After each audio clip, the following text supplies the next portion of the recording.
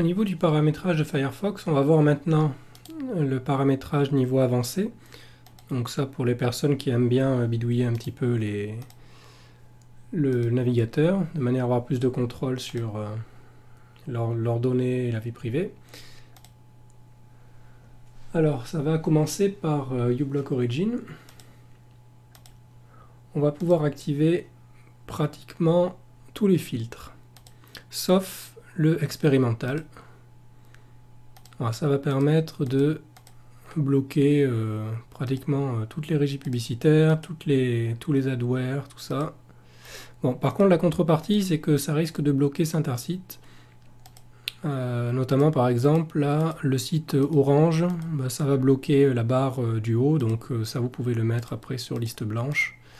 C'est pour ça que c'est réservé aux personnes qui bidouillent un petit peu. Voilà, donc là, j'applique. J'ai activé pratiquement tous les filtres et après je peux les mettre à jour. Ensuite, euh, au niveau euh, du confort de lecture, donc par défaut on est sur un fond blanc et texte noir, donc ce qu'il y a de pire pour euh, lire des articles. Alors, on va utiliser une extension, en fait il y en a deux qui sont disponibles, font bien le travail. Alors, on va aller dans les extensions, dans la bibliothèque. Alors, moi celle que j'utilise c'est Dark Background and Light Text. Donc elle est très simple à utiliser.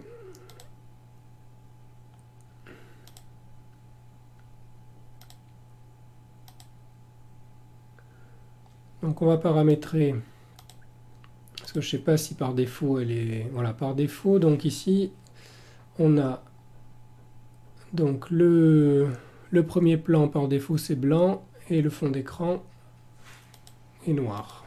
Donc bon, ça c'est c'est déjà un petit peu mieux, mais bon, on est toujours blanc sur noir, on a juste inversé l'image. Si on veut avoir quelque chose d'un petit peu plus doux, on peut mettre, donc mettons le fond en gris, et le texte voilà en pas tout à fait noir.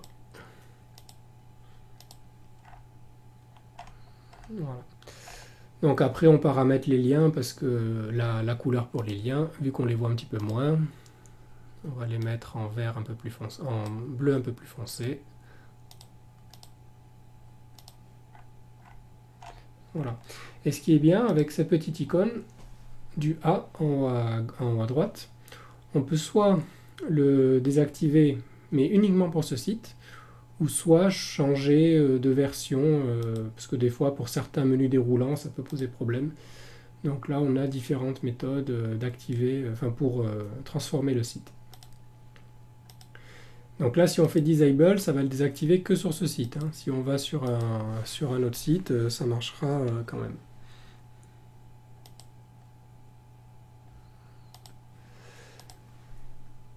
Alors là, je réactive. Donc après, il y en a un autre qu'on peut utiliser. Donc là, je désactive. C'est Dark Mode, je crois. Voilà, Dark Mode, Web Extension. Alors celui-là, il y a moins de paramétrage parce qu'il y a des, des pré-réglages déjà. Alors il y a juste un petit bouton. Donc là, je vais recharger la page pour l'avoir en fond blanc. Il y a juste un petit bouton pour le passer avec un fond noir. Et si on veut le paramétrer, pareil, on va dans les extensions, options, et là on choisit déjà le, dark mode pré-réglé. C'est vrai qu'il a moins de, souplesse que celui que je vous ai montré au début. Par exemple le 20, je crois qu'il est pas mal. Voilà. Donc une petite astuce aussi avec euh, Firefox, maintenant on a un mode lecture aussi, qui est spécialement fait pour les articles, qui est cette petite icône là, à droite de la barre d'adresse. Donc là par contre, euh, les extensions ne vont plus marcher, mais on a d'autres outils. On peut déjà étaler le texte sur toute la largeur de la page. On peut choisir un fond sombre et augmenter la taille de police. Donc tous les réglages qu'on fait maintenant seront mémorisés pour la prochaine fois qu'on voudra utiliser euh, cette option de lecture. Et après, on peut même, avec cette icône, se faire lire l'article par la synthèse vocale de l'ordinateur. Ici, on a le, la vitesse de lecture. Très pratique. Alors, il manquerait plus que sa plante, c'est parfait.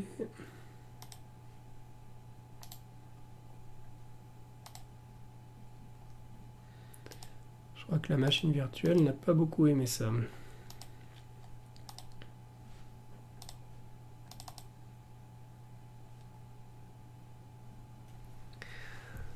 Ensuite, euh, donc là on va faire des réglages un peu plus poussés dans les paramétrages, dans les options de, dans les options de Firefox à proprement parler. Alors ici, donc il n'y a pas grand chose à régler. Accueil, on avait déjà fait, donc on avait déjà désactivé tout ça au niveau de la page d'accueil. Là du coup, si vous êtes aventureux, vous pouvez en choisir un autre, comme Quant aussi, donc on peut rajouter, on peut restaurer les moteurs de recherche et mettre compte à la place. Et là, donc dans vie privée, c'est ici que l'on va faire le plus de paramétrage. Alors là, on peut bloquer, donc on va même pas se servir des trackers, on va faire tous les cookies tiers. Là, ça va être drastique. Donc il y aura certains sites euh, comme Netflix ou ça qui utilisent des cookies tiers qui ne vont pas marcher avec euh, ce réglage-là. Euh, donc ne pas me pister, oui. Si à chaque fois qu'on va aller sur un site, on va envoyer l'option ne pas me pister, même si ça dépend du bon vouloir du site de le respecter ou pas.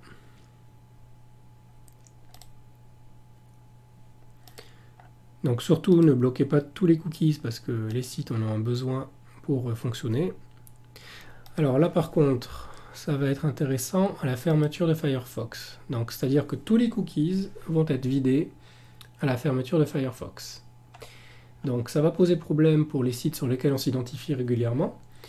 Pour éviter ça, il y a déjà, et pas besoin d'extension, il suffit d'utiliser une option qui est déjà incorporée là-dedans, qui est, qui est exception ici, dans cookies et données de site tous les sites que vous allez rentrer ici.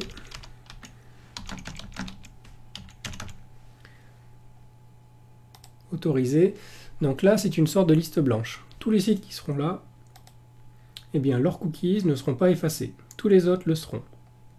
Voilà, donc c'est bien de mettre euh, une liste blanche, et comme ça, à chaque fois que vous éteignez Firefox, vous n'aurez pas besoin de le faire manuellement ce sera fait automatiquement. Comme ça, ça évite de se reconnecter après sur chaque site, euh, parce que effacer le cookie, ça va effacer l'authentification, même si les mots de passe seront quand même enregistrés. Alors où sont-ils les mots de passe? Ici. Voilà, même si les mots de passe sont enregistrés là-dedans. Alors vous pouvez mettre aussi un mot de passe principal, ça c'est bien. Bon, c'est un peu embêtant parce qu'il faudra mettre le mot de passe à chaque fois que Firefox se lance mais ça permet donc euh, de protéger tous les identifiants enregistrés. Il faudra mettre le mot de passe à chaque fois qu'on voudra consulter euh, les mots de passe qui sont enregistrés sur la machine.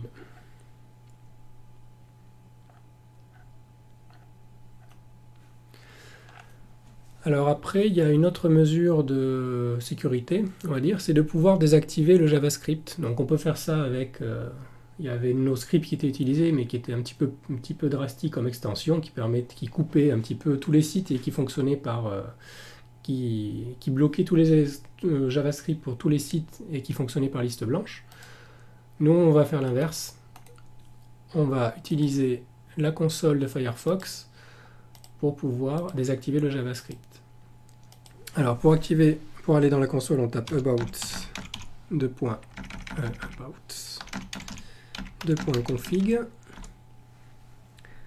Je comprends les risques. Et là, donc, on a JavaScript enable. Voilà. Donc, plutôt que de faire ça à chaque fois, on va créer un raccourci spécial. Alors, je l'ai ici. Donc ça c'est un lien qu'on va mettre dans les marque-pages, about config point filter égale JavaScript. Comme ça, ça va nous filtrer automatiquement ça, et on va le rajouter dans les favoris. Alors ça c'est pratique quand on veut désactiver le JavaScript quand on fait des recherches sur internet. Des fois on se connecte sur des sites euh, juste une fois pour avoir une information et on ne sait pas s'il est correct niveau sécurité. Donc pour désactiver JavaScript, alors euh, on peut cliquer où on veut, on n'est pas obligé de cliquer sur la ligne. Il faut cliquer deux fois pour l'activer, pour les activer. Donc ça passe en true quand c'est activé et en false quand c'est désactivé. Et comme ça on peut faire des recherches sur... Euh, le moteur de recherche préféré. Donc les sites ne vont pas bien fonctionner, hein, ça c'est sûr. Donc, euh, mais par contre, ça permet d'avoir le plus important, donc le, texte, euh,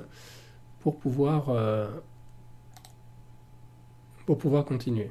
Voilà, par exemple, là, le site de Windows 10 est complètement cassé sans JavaScript. Par contre, Wikipédia, donc, qui est un site sûr, lui fonctionne bien. Voilà, donc ça permet de faire les recherches euh, de manière beaucoup plus sécurisée, ça désactive, euh, vu que les malwares utilisent JavaScript, les régies publicitaires aussi, ça sécurise beaucoup. Et puis après, une, autre petite astuce pour désactiver les, images, on peut aussi se créer un favori, ça c'est plutôt quand on est en mode économie euh, de bande passante.